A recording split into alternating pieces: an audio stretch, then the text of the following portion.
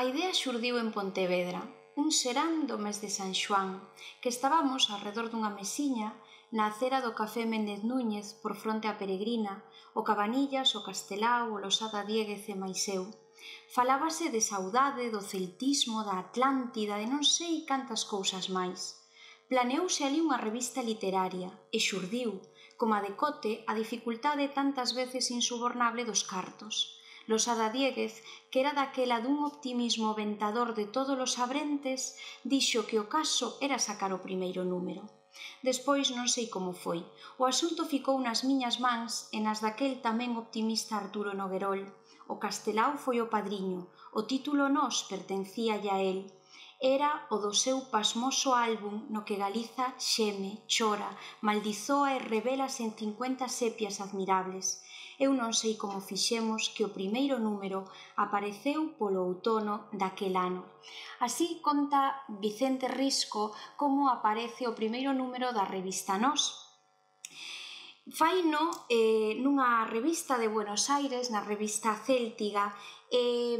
a revista nos aparece en realidade un 30 de outubro de 1920 en Ourense baixo o subtítulo Boletín mensual da cultura galega, órgano da Sociedade Galega de Publicacións Nos. Aparecía ese primeiro número que celebramos 100 anos del eh, pola importancia que significa para nós Eh, os primeiros saíron en Ourense e os, o número 16, 17 e 18 en Pontevedra. Como ben explica Vicente Risco, vai ser nese círculo ourensán pontevedrés no que se xeste esta, esta revista. A publicación desaparece tres anos despois, en 1923 puideramos pensar que, que o fai porque no 23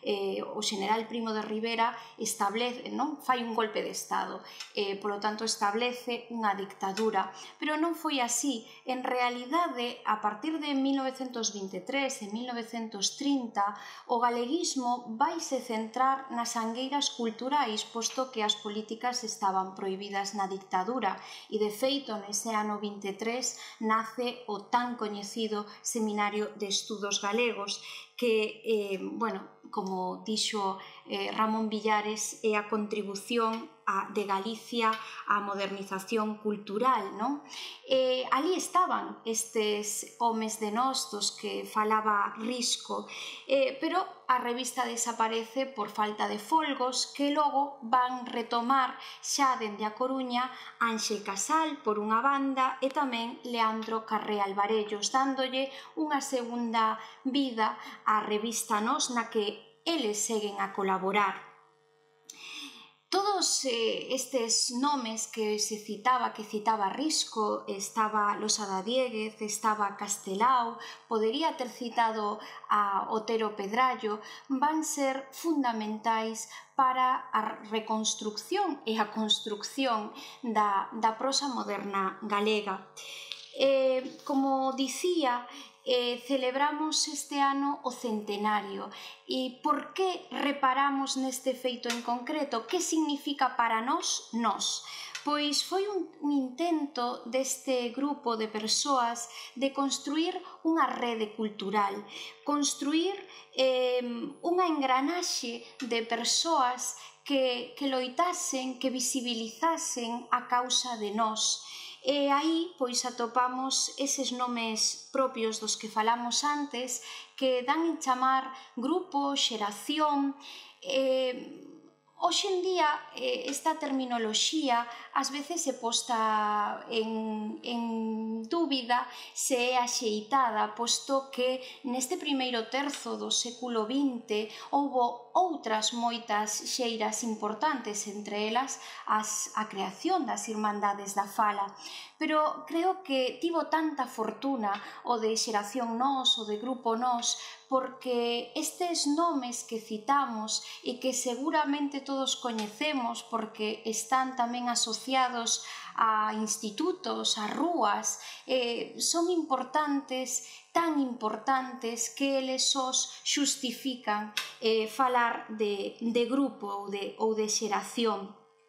As orixes da revista Nos temolas que buscar un pouquiño antes, nese cenáculo ourensán do que formaban parte Risco, Otero, Arturo Noguerol, Primitivo Sanjurjo, que dende mediados dos, dos anos 10 pois se reunían, reuníanse en tertulias e van ser quen tamén de publicar unha revista que é a revista La Centuria, unha revista neosófica que nada ten que ver coa posterior revista Nos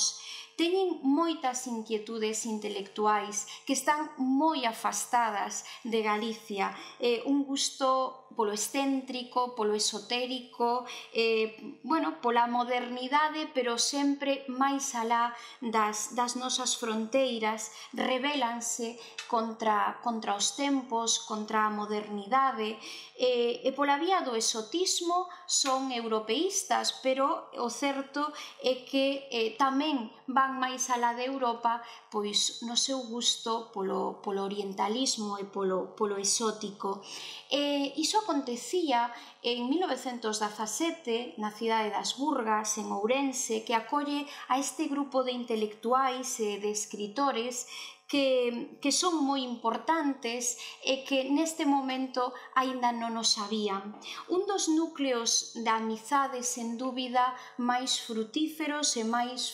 fecundos que ten dado a nosa historia da literatura. Eh, Recorda, por exemplo, Blanco Amor e tempo despois como el, que era un adolescente en Ourense, pois lía La Centuria. E en La Centuria descubriu a tantos escritores que el non coñecía, ademais de asistir ás clases do seu mestre de risco. E mm, el di así: eu despertei o mundo literario con La Centuria, a revista neosófica ourensán de Vicente Risco, que publicaba moitas traducións de moitos poetas simbolistas. Estas traducións continuábanse logo coa relectura de Rimbaud, Mallarmé e outros. Tamén asistín durante 4 anos á clase de historia que explicaba Risco,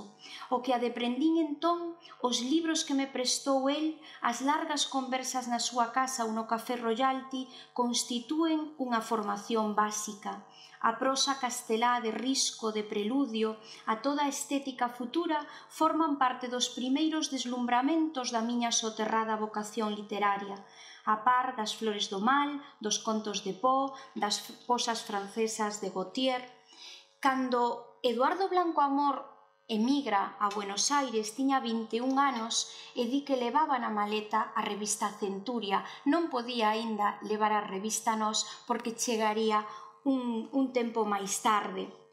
Pero, sen dúbida, aí está xa o xermolo, a pegada de risco que vai ter nesa, nesa xeración e tamén nas seguintes.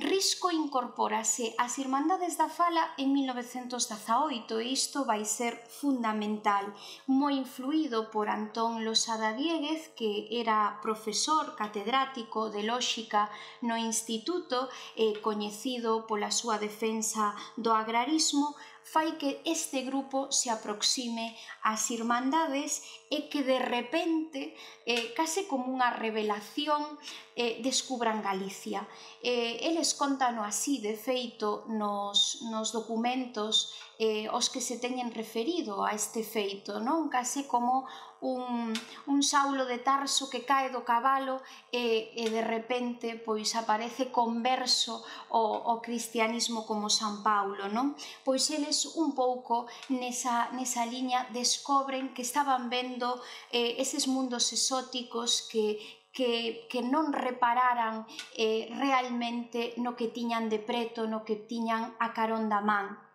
E, e iso vai ser unha, unha revelación está nos seus escritos Florentino Cuevillas no artigo dos nosos tempos, Otero Pedrallo na coñecidísima novela Arredor de sí e, por suposto, Risco eh, no ensaio Nos os inadaptados. Mm, despois volveremos un pouco sobre estes textos, non? A ver que, que acontece para ese cambio. Eh, temos estes nomes, temos fundamentalmente pois a, a Vicente Risco, a Otero, a Castelao eh, e a outros que, que tamén saíron, Arturo Noguerol, Cuevillas, Losada Dieguez,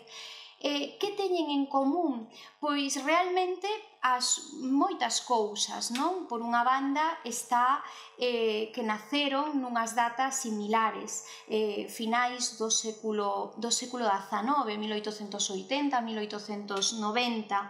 Logo algo moi excepcional na época, que era a súa importante formación. Todos eles son eh, teñen estudos universitarios, todos eles coñecen varios idiomas, eh, coñecen a literatura que se está a facer eh, en Europa eh, estamos na Galicia de, do primeiro terzo do século XX onde o analfabetismo era moi alto as posibilidades de estudar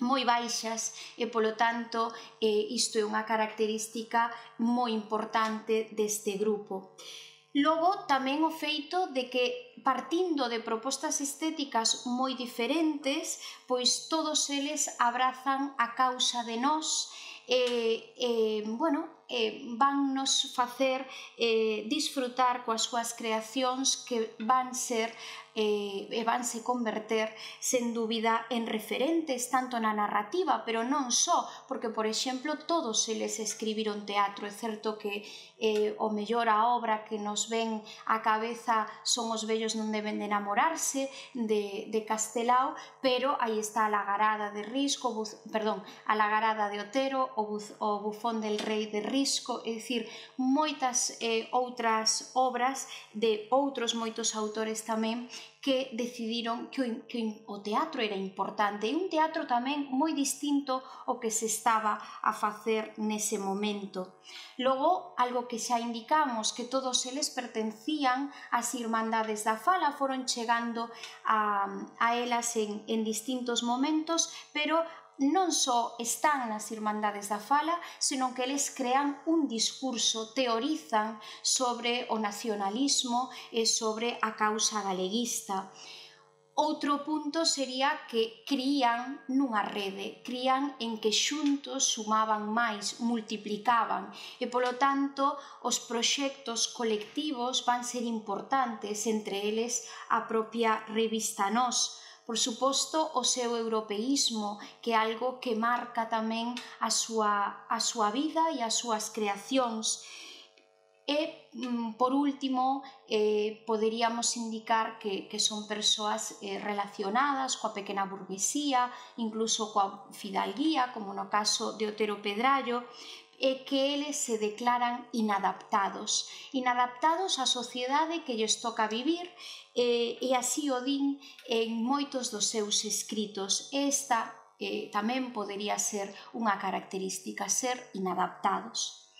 Eu caracterizaría os homes do meu tempo preocupados polas cousas do espírito, dicindo que éramos e somos os auténticos vencidos da vida, insatisfeitos, non conformistas, de cotes rebeldes, vencidos da vida por inadaptados. A palabra inadaptados, como digo, é unha característica porque a utilizan en moitos escritos, non só neste de Vicente Risco, que, que é publicado na revista Nos, no ano 33, onde explica tamén o seguinte. Pois ben, como aquel Chesterton que despois de moitas viaxes polo mundo atopou unha terra descoñecida que resultaban ser, a fin de contas, a Gran Bretaña, igual nos pasou a nós, Despois de tantas voltas e reviravoltas, viñemos dar na sorprendente descuberta de que Galiza, a nosa terra, oculta o noso ollar por un espeso estrato de cultura allea, ofrecíanos un modo tan extenso, tan novo, tan inédito, tan descoñecido, como que andábamos a procura por aí adiante. Como xa referimos, Este non vai ser o único texto, tamén logo volveremos sobre esa novela de Otero Pedrallo arredor de sí. O cenáculo ourensán necesitou, por, non sabemos moi ben por qué, pero necesitou explicar a súa maneira a través da novela, a través do ensaio, eh, como mudara a súa perspectiva vital, como pasaran de La Centuria a revista Nós, como pasaran do exótico, do, do orientalismo, a cultura tradicional, a fixarse na tradición oral, a, a reparar na etnografía, no que era propio, non? E, e o certo e que, e que así vai nacer en realidade a revista Nos, despois de facer ese, ese percorrido e de reparar reparar no noso. Como, como dicía, eh, volvo a repetir, o director era Vicente Risco, acompañado por Arturo Noguerol como xerente, estaban tamén Otero e, e Cuevillas, e Castelao era o director artístico, nin máis nin menos, e Ángel Casal o editor De feito, Ángel Casal vai manter viva a revista ata o ano 36, eh, ese fatídico mes de xullo que xa tiña ese número para sair o prelo e que finalmente non puido ver a luz. E entre ese ano 20 e o ano 36, cos paróns que, que xa referimos, publicáronse 144 números que forman parte do, bueno, pois da nosa historia da literatura eh, e, e da nosa historia como, como país. Os obxectivos da revista tampouco distaban eh, en nalgúns, nalgúns casos moito da centuria. Eles seguían queren mirando Europa, pero agora dende as raiceiras, eh, cos pés chantados na terra, e polo tanto facíano eh, nun exercicio de procurar Europa dende nós. Iso si cambiara, o enfoque si cambiara, pero eh, realmente eles querían modernizar eh, o país. Eh, tamén o fixeron despois eh, pois integrando no Seminario de Estudos Galegos pois esas seccións que eles coordinaron, a sección de literatura, de arte, de xeografía, de etnografía, que non deixa de ser unha aposta pola, por procurar coñecemento, ciencia eh, en galego e dende Galicia e sobre Galicia. É dicir, os estudos tiñan que partir de aquí eles entenden o ben con ese proxecto o igual que o fan con este proxecto proxecto da, da revista Nós. A súa formación eh, estaba aí, o seu europeísmo estaba aí e iso vai impregnar a revista, vai impregnar as súas obras eh, e, bueno, eh, vese moi claro nas páxinas e facemos un recorrido polos 144 números. Incorporan a literatura galega todos os temas que lle suscitan interese, os temas lendarios, exóticos, a mitoloxía celta, o ambiente urbano, a fasquía filosófica, eh, as técnicas tamén que eles están afeitos a ler nesa literatura europea que tan ben coñecen e, polo tanto, eh, van ser uns auténticos renovadores da, da nosa literatura. Eh, Risco, eh, quizáis o mellor en contra do que, do que se pensa, debía ter unha, unha mm, unha personalidade moi, moi intensa, eh, moi atraínte, era como, como el explicou, un inadaptado, tocoulle vivir uns tempos convulsos entre distintas eh, guerras, o cambio de século, eh, unha adaptación aos novos tempos que, bueno, el tiña unha formación antiilustrada, non? De finais do século XIX, eh, eh, polo tanto, pois eh, sempre foi reacio a,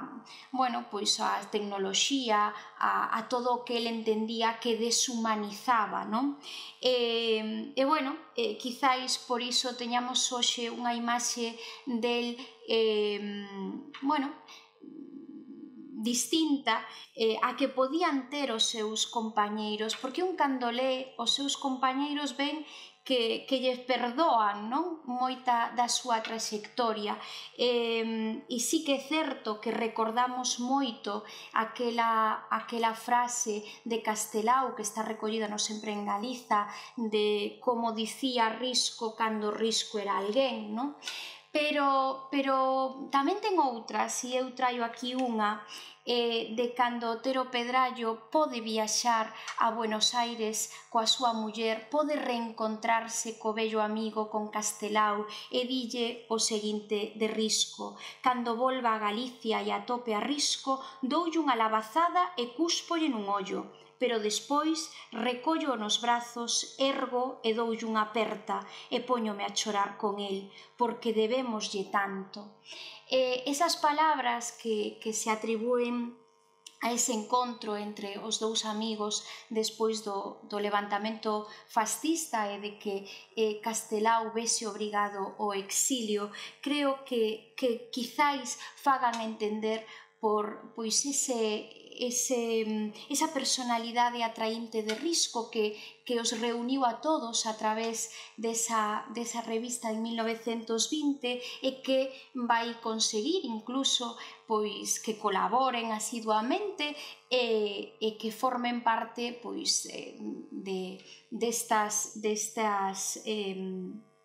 bueno, iniciativas que ele emprende porque xa colaboraba en algúns casos na, na Centuria. Risco era un home moi culto, estudara Dereito e Magisterio, de feito, el vai ser profesor na Escola Normal e, posteriormente director. É certo que é un home moi contradictorio se analizamos a súa vida, porque el nas páxinas da, da Centuria introduce as vanguardas e logo vai ser un gran detractor das vanguardas porque eh, considera que os autores galegos deben facer, non deben fixarse no que se fai fora, deben facer a súa propia literatura e defender a súa individualidade creativa fronte ao demais, non? Eh, eu sempre lembro un un momento do porco de pé eh, en referencia a iso que hai un personaxe que é un poeta un poeta vanguardista e do que, do que o narrador di que é tan vanguardista, tan vanguardista está influído por todos os sismos que nunca escribiu un verso porque claro, ten medo a, a quedar desfasado non? e aí vese e, mm, bueno, eh, esa contradición e eu cando chego a esa parte do porco de pé non podo evitar sorrir pásame en moitas partes, pero nesa pásame especialmente. Aí está esa, esa retranca que, que el tamén debía ter, non? Eh, e ese camiño que, que emprendeu eh, pois eh, fascinado despois pola, pola tradición eh, oral galega, por, por as nosas raiceiras e deixando un pouco esa literatura eh, allea, non? bueno, é autor risco de, de moitas obras, eh, moitas delas influídas por ese interese da tradición oral, como a Velliña Bella, que é unha personificación de, de Galicia, a Coutada, a Trave de Ouro, a Trave de Alquitrán, o Lobo da Xente, pero tamén é autores de, de relatos que, que na literatura galega supoñen eh, un paso adiante, unha modernidade, non? Eh, por exemplo, do caso que ya aconteceu o doutor Albeiros, todo ese exotismo que el traslada a esas páxinas, tamén esa retranca, non? Este, este doutor eh, Albeiros, de repente aparecenos aí a momia de Tutankamón, eh, que, que a danza macabra eh, do final, bueno, son uns ingredientes que, que se alguén non a leu eu só quero deixar así en riba da mesa para, para convidar a súa lectura porque, porque é algo tan diferente eh, na nosa literatura que paga a pena lelo non? Eh, pois o mesmo que os europeos en Abrantes que, que comezou a publicarse na revista Nos no ano 27 porque Como falábamos, a revista recollía moitos dos seus ensaios, pero tamén eh, pois pezas literarias como é o caso. Bueno, agora que, que estamos no verán, pois eh, tamén podería ser unha novela de verán, non? Eh, eh, van un grupo de, de burgueses pois a, a unha, fan unha colonia de veraneo pois nunha aldea. E, eh, e bueno, pasan moitas historias, realmente unha burla dos novos hábitos desa burguesía, eh, desa pequena burguesía que tamén despois estará no porco de pé, non? o que el chamos filisteos da sociedade moderna. A gran novela a que xa me fun referindo é O Porco de Pé, que, que se publica no ano 1928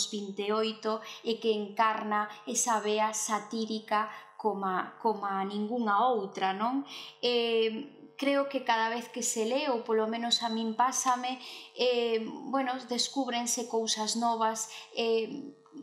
a historia pois é, é abondo coñecida, non? Pero sí que o tratamento, a súa linguaxe, pois creo que prende, non? A historia, pois, a de Don Cilidonio, que é un dos personaxes eh, tamén de referencia da nosa literatura, ese mozo de tenda que chega a propietario, de propietario a concelleiro, de concelleiro a alcalde. Ben, é do ano 28, pero o mellor tampouco está tan lonxe de cousas que pasan no 2020. Eh, di el que, que don Celidonio é igual por dentro ca por fora, carne e espírito son a mesma zorza misturada e revolta co mesmo adubo de ourego e pemento ben Risco expresa en Don Celidonio ese símbolo animalizado de unha parte da sociedade que se deixa levar só polo valor dos cartos, polo valor do material e non pola espiritualidade, pola cultura, eh, bueno, por, ese, por, o, por o espírito, non? por o espírito da, da cultura E a máis de ser a súa obra satírica de referencia, pois eu creo que unha obra mestra eh, da literatura universal. E Risco eh, con esta obra pois creo que, que gaña tamén non eh, nos le, moitos lectores na época eh, eh, creo que segue a ser moi moderna e, e moi lida non? E a Risco non só lle debemos grandes obras literarias, senón tamén a teoría do nacionalismo galego que publica en 1920 e que vai fundamentar sobre tres esteos, a lingua, a terra e a raza. Hoxe non sería políticamente correcto falar de raza, pero el non o fai nesa connotación racista, senón que apunta a unha dicotomía entre a raza celta e a raza eh, atlántica, eh, a raza mediterránea, non? O sea, a raza que nos une aos povos irmáns de Irlanda eh, e que nos sitúa no centro fronte a esa raza mediterránea que de vernos aí estaríamos nas lindes. E como si decía Castelao, debémoslle moito a, a risco. Certo é que despois el vai facer esa viaxe a Alemanha que vai publicar nas páxinas da revista Nos e que, e que podemos ler eh, hoxe na, na súa obra Mitel Europa porque vai recoller todos eses artigos. En esa viaxe é o que fai é afastarse eh, do, bueno, de nós e, e abrazar pois outras causas, eh, sobre todo radicalizarse en algúns aspectos, como pode ser eh, no seu catolicismo, no seu tradicionalismo, e incluso pois chegar a, a ver con vos ollos ou a entender o, o fascismo, eh, que por desgraza, a partir do ano 36, co levantamento fascista que se produce en España, pois vai quedar instaurada unha dictadura e, e veñen tempos moi escuros, tamén veñen tempos escuros para risco aínda que se posicionase ou entendese ese, ese levantamento fascista, pero si sí, eu quería quedarme con ese primeiro terzo de século no que nos dicía Castelao que a risco lle debemos tanto. E se a risco lle debemos moito, sen dúbida tamén ao Otero Pedrallo eh, eran dúas persoas moi próximas, naceran incluso na mesma casa, participan das mesmas empresas culturais, incluso políticas, os dous fundan en Ourense o Partido Nacionalista Republicán, que despois eh, se integra a partir do ano 31 no, no Partido Galeguista, posteriormente tamén xuntos escíndense do Partido Galeguista para crear a dereita galeguista, polo tanto, teñen vidas moi paralelas, iso sí, ato 36, porque Otero eh, non, non se vai significar coa, coa causa fascista, non? Pero neste primeiro terzo, pois, trazan camiños moi da man. Eh, sempre se di que, que Otero comezou tarde a escribir, menos mal, eh, porque, porque escribiu moito e deulle para moito, e que antes o que fixo foi ler, ler, ler, ler eh, pois toda, toda esa literatura que lle interesaba, todos eses artigos que, que se publicaban nas distintas eh, revistas, eh, e estaba moi o día. Iso podémolo ver tamén nas páxinas da, da revista Nós, porque a, Otero é o traductor do Ulises de Joyce duns fragmentos que, que se publican na revista Nós eh, dendo inglés eh, e el vai facer esa traducción. Polo tanto, eh, están moi o día do que se está a facer en Europa como, como demostra esa traducción que sempre se dixo que foi a primeira traducción do Ulises de Joyce na península, pero mm, non está tan claro a día de hoxe, tamén apareceron uns fragmentos na revista do Occidente eh, un tempo antes, pero mm, sexa como for, non imos a entrar aí, o certo é que demostra que o grupo nos estaba ollando eh, os, os países de raza celta que, que falaba antes Risco a Irlanda interesáballes moito o que se estaba facendo en Irlanda e o que estaba facendo nin máis nin menos que Joyce eh, Iberquelo o galego. Eh, polo tanto eh, as páxinas de nós como, como vemos son un faro para, para a cultura galega, un faro que vai iluminar a toda a xeración de autores, de autoras, de, de e a toda a sociedade, non? Porque foi unha revista eh, pois con repercusión, con moita repercusión, por exemplo, nas Irmandades da Fala, eh, eh, que esa xente estivese lendo e sabendo que en Irlanda se estaba publicando Ulises pois di moito de, de todos eles. Non? Eh, colaborou na revista Nós, renovou xunto aos seus compañeiros a, a prosa galega, cultivou case todos os paus, eh, Otero ademais pois era un gran orador, era xeógrafo, historiador, ensaísta, ten sete novelas en galego, cinco relatos curtos, dous libros de contos, eh, eh, si sí, a narrativa centra a, a, súa, a súa escrita, pero xa,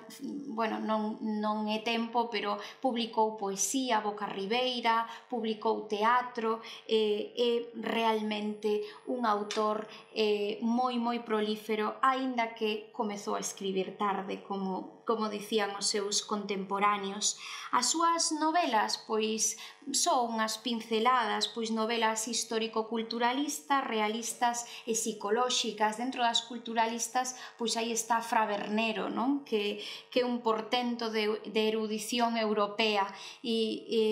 dentro das histórico-realistas, pois a tan coñecida Os Camiños da Vida, non? Esa, esas tres xeracións da, da familia dos Puga que, que nos aparecen nesas páxinas de, desa narrativa prolixa, esa decadencia da fidalguía que tanto lle preocupaba porque era a clase a que el pertencía, esa fidalguía que era incapaz de adaptarse aos novos tempos e que para el ese paso do antigo réxime non a a actualidade, a súa actualidade, pois eh, estaba esfarelando eh, e estaba arruinando Galicia porque el sí creía que un dos esteos eh, principais era a fidalguía. Volve a retomar iso, por exemplo, ese tema no me son dos ermos. Eh, e interésanos eh, volver sobre arredor de sí, sobre esa novela psicolóxica, introspectiva, eh, na que explica a través do personaxe de Adrián Solovio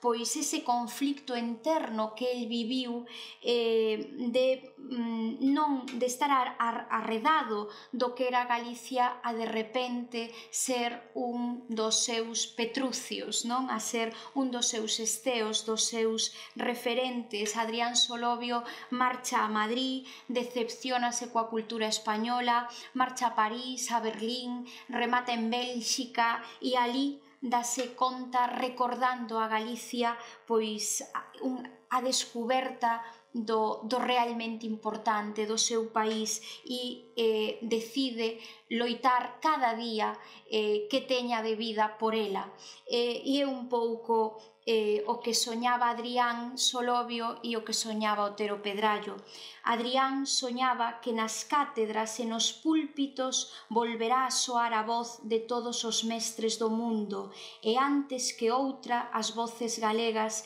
que xermolaban escuramente na Galiza. Eles ceibarán o espírito da terra. Bueno, pois pois esas angueiras tamén eran as de, as de Otero, eh, que, que tamén eh, dicía Risco nunha carta que, que lle envía a, a Losada Dieguez eh, ao redor dos, dos anos 20 que, que Otero pois aínda non estaba de cheo inserido na, na, causa, na causa de nós, que sí que colaboraba na revista, pero que el aburríase cando viña para Galicia Galicia e estaba desexando marchar para Madrid, non? E, eh, e por iso ten tantas similitudes con ese Adrián Solovio, pero o certo é que cando se decatou, cando abriu os ollos, quitou a venda, como dicía en nosos inadaptados risco, pois descubriu eh, o verdadeiramente importante, o importante de ter chantadas as raíces, os pés na, na terra eh, e os outro dos eh, autores fundamentais de, desta época, o director artístico da revista Nos é Castelao. Pouco se pode dicir de Castelao que, que non se saiba e, e sempre será pouco que digamos del ao mesmo tempo. El non era do cenáculo ourensán, nacera eh, na costa, en Rianxo, si estudara, estudara medicina en Compostela e ponse en relación co grupo cando el se establece en Pontevedra. Por iso, na revista nos falamos de, de un círculo máis amplo do, do cenáculo ourensán que ese círculo eh, ourensán eh, Pontevedra, non? eh, el dalle nome a revista Nos porque el publicara eh, anteriormente o álbum Nos, o álbum Nos dentro da, da extensa obra plástica que, que ten Castelao, como Galicia Mártir, Atila en Galicia, Milicianos, as cruces de Pedra na Bretaña, as cruces de Pedra na Galicia.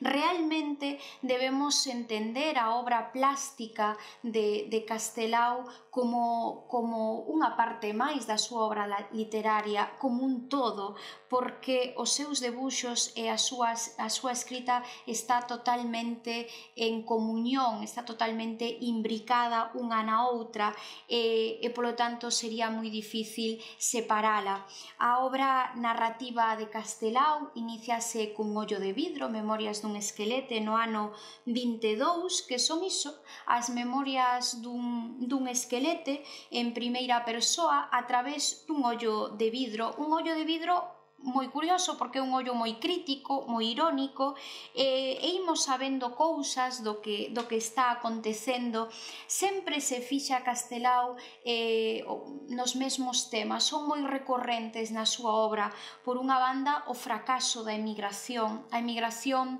non é algo do que haxa que que botar peito, todo o contrario, é unha sangría, e así o entendía Castelao e así o expresa en todas as súas obras, a necesidade de que os galegos defendan o seu idioma, a carraxe que el sente polos caciques, polas persoas que, que son parásitos da nosa sociedade que nos levan a,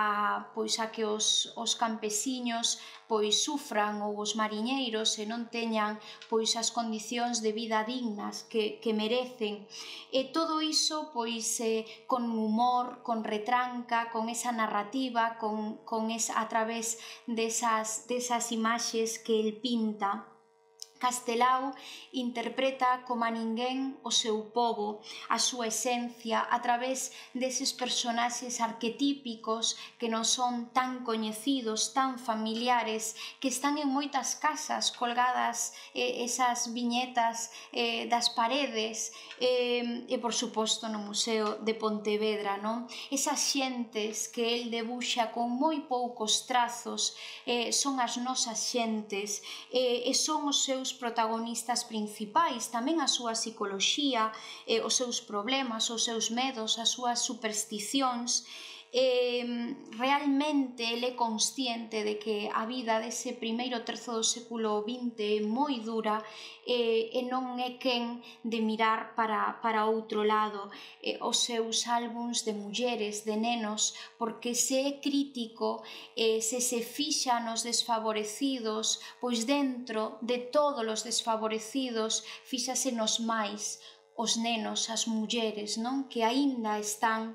eh, aínda sofren máis as injustizas sociais. Eh, e bueno, pois eh, ademais lanza a mensaxe, non, de que a fuxida non é cara a emigración, non? Hai que loitar por un país mellor e que cambien eh, pois esas estructuras caciquís, por exemplo.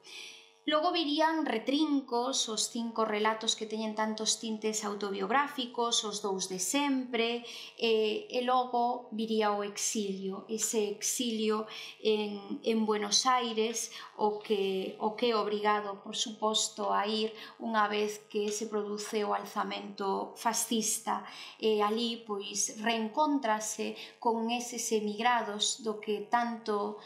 ten falado tamén con compañeiros, con Blanco Amor, por exemplo, que, que o entrevistara cando viñera de corresponsal da Nación a, a Galicia e, e despois con, por exemplo, puido aínda reencontrarse no ano 47 con, con Ramón Otero Pedrallo. Ali segue a escribir, segue a facer cultura de nós, aínda que estea alén mar, alén mar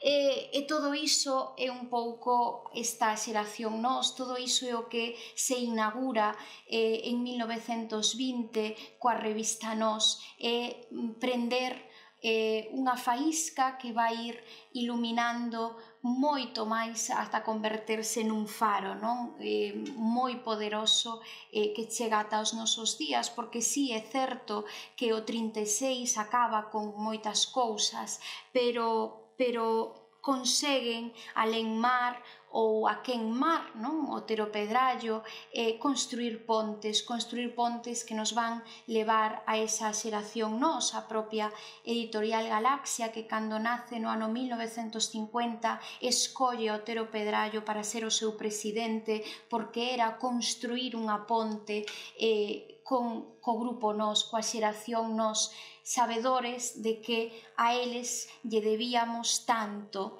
Eh, en,